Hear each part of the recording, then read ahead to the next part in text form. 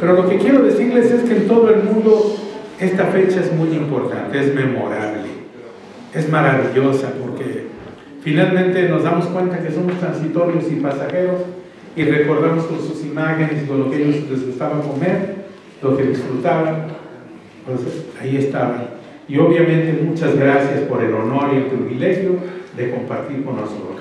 ¿Quieres decir algo, compañero? Pues ahora sí que muchas gracias eh, a todos los que están aquí presentes, principalmente a Jesús y a la licenciada Itzel, eh, por seguir tomando en cuenta a mi padre, que en paz descanse. Y pues yo sé que también mi papá luchó mucho, mucho, mucho, mucho, mucho luchó dentro de, de lo que es todo el grupo Honestidad. Y pues vamos a seguir en la lucha y pues ahora sí que pues cumplir algo que también él tenía muy, muy, muy grabado, que, era que las injusticias no existieran y que se, hiciera justicia a todos los trabajadores que lo necesitaron. Muchas gracias. Quiero decirles que acordándome de este tema con Fernando Sánchez y con Irma Morales Morán, hicimos realidad la constitución de la Ciudad de México. La verdad, un tema muy difícil de entender, pero no, no. Jesús Ortega el Malo era el que presidía la fracción parlamentaria del PRD con mucho poder en ese entonces. No quería por ningún motivo que quedara sentado en la Constitución de la Ciudad de México los trabajadores más salariados.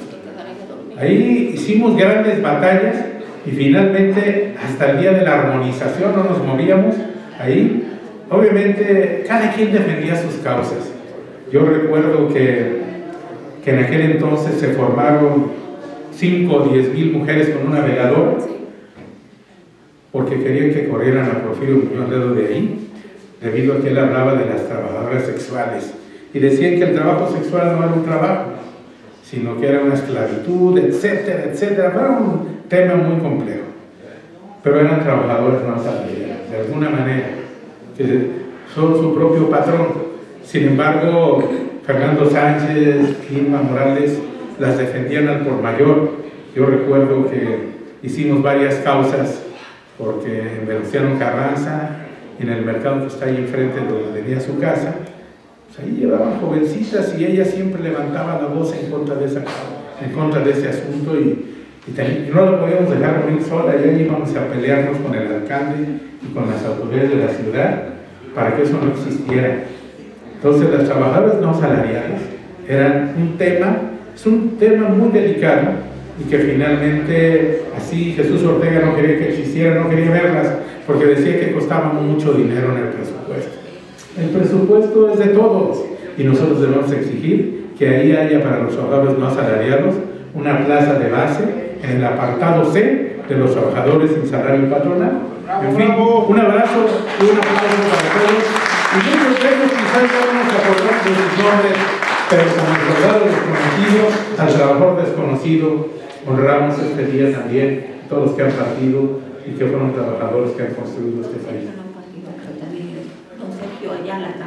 Bueno, hay algunos que sabemos de antemano que están por partir, o sea, sabemos que Sergio García Ayala, que también igual que Ramón formaron parte del equipo personalísimo de Celia Torres y, y de Fernando Sánchez, él está ya por partir, no tarda en llegar, siempre llega a las 3 de la tarde a las reuniones, pero pues ya sabemos de antemano que ya le quitaron dos piernas y ya está sufriendo cada día más. Entonces, eh, él apoyó esa causa toda la vida. Entonces, vamos a caminar juntos y felicidades a todos los que hoy se acuerdan de, estos trabajadores Gracias Claudia, gracias Jesús, gracias Ignacio, porque aquí ah, Gracias. Mi querido Juan Rodríguez González, ¿quieres hacer uso de la palabra? Pues realmente me siento muy honrado nuevamente estar en este recinto que todos cada día lo estamos considerando un recinto sagrado. Gracias a la invitación de nuestro amigo Roberto y el Señor y más que nada con la presencia de todos ustedes.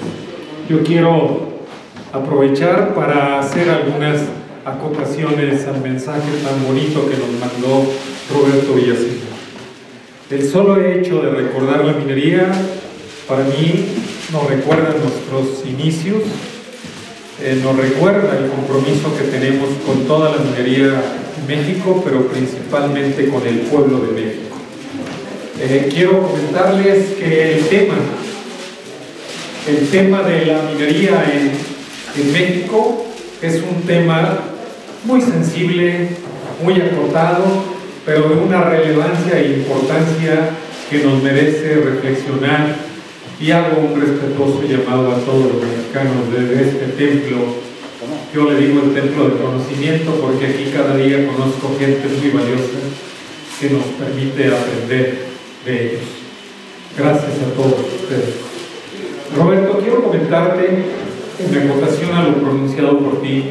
La minería ha sido una de las actividades de toda la historia de México, desde nuestros ancestros hasta la actualidad. Yo para mí es la cadena productiva primera que se generó en México, porque al extraer los minerales del suelo y generarlos y ponerlos en circulación, sirvió primero para hacer las joyas, el embellecimiento de los pueblos ancestrales. También sirvió como moneda de curso, muchos lo, recuerdan, las, las pepitas que aún todavía se siguen vendiendo en muchos mercados y en muchos lugares. Y México le ha dado mucha importancia. Los españoles se llevaron una enorme riqueza de México que les permitió construir grandes ciudades y grandes imperios españoles. Voy a decirlos el reino de Castilla, que fue el que conquistó México, pero no nomás estuvieron reino de Castilla, estuvieron buena parte de los reinos europeos de México, incluidos los alemanes, y vamos a retomar toda esa historia a lo que hoy es México.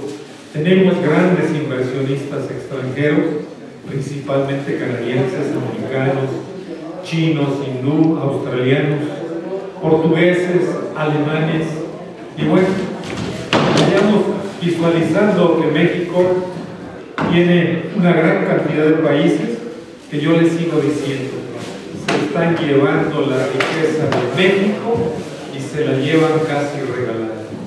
¿Por qué digo regalada?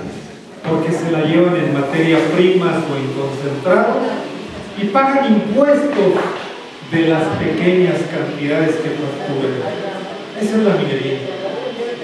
La minería que menciona Roberto, que si en México fue apoyada, yo les quiero decir que con la ley de 1974 de Luis Echeverría, en ese tiempo se generó la Comisión de Fomento Minero, que llegó a tener 70, perdón, 82 empresas que las aglutinaba, como era